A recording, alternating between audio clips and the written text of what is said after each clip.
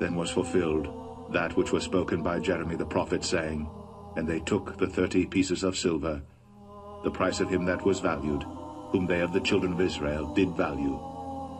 Then was fulfilled that which was spoken by Jeremy the prophet, saying, In Ramah was there a voice heard, lamentation and weeping and great mourning, Rachel weeping for her children, and would not be comforted because they are not.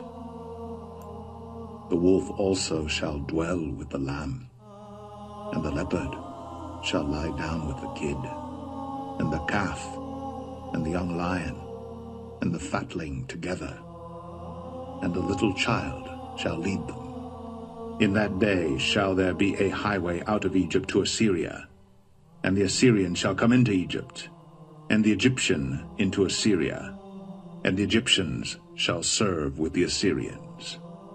Neither do men put new wine into old bottles, else the bottles break, and the wine runneth out, and the bottles perish. But they put new wine into new bottles, and both are preserved. Whereas thou hast searched all my stuff, what hast thou found of all thy household stuff? Set it here before my brethren and thy brethren, that they may judge betwixt us both. God brought him forth out of Egypt. He hath, as it were, the strength of an unicorn. He shall eat up the nations, his enemies, and shall break their bones and pierce them through with his arrows. And thou shalt eat it as barley cakes, and thou shalt bake it with dung that cometh out of man in their sight. And the Lord said, Even thus shall the children of Israel eat their defiled bread among the Gentiles, whither I will drive them. And when he had apprehended him, he put him in prison and delivered him to four quaternions of soldiers to keep him, intending after Easter to bring him forth to the people. But those mine enemies, which would not that I should reign over them, bring hither, and slay them before me. But Rabshakeh said unto them, Hath my master sent me to thy master, and to thee to speak these words?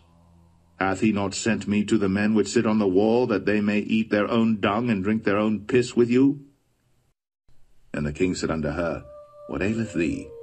And she answered, This woman said unto me, Give thy son, that we may eat him today, and we will eat my son tomorrow.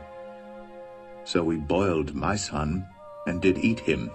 And I said unto her on the next day, Give thy son, that we may eat him. And she hath hid her son. Wherefore then gavest not thou my money into the bank, that at my coming I might have required mine own with usury? Genesis 42 Now when Jacob saw that there was corn in Egypt, Jacob said unto his sons, why do you look one upon another? And he said, Behold, I have heard that there is corn in Egypt. Get you down thither, and buy for us from thence, that we may live and not die. I tell you, in that night there shall be two men in one bed. The one shall be taken, and the other shall be left.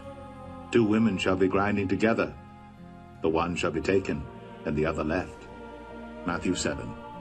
Judge not, that ye be not judged. For with what judgment ye judge, ye shall be judged, and with what measure ye meet, it shall be measured to you again.